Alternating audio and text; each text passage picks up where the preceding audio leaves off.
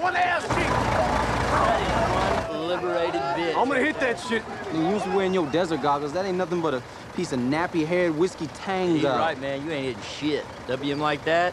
Nah, she been wearing Kevlar panties nailed on top of a concertina wire bush. Yeah, well, I'm gonna do a recon pool.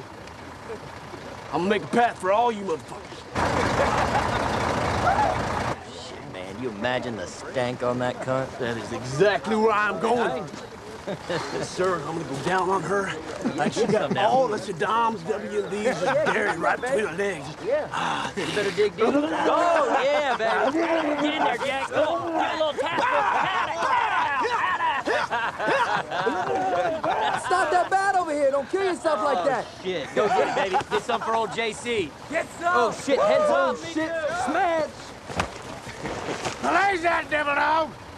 You're squealing like a bunchy butt-fuck basher beaches. Unfuck yourself.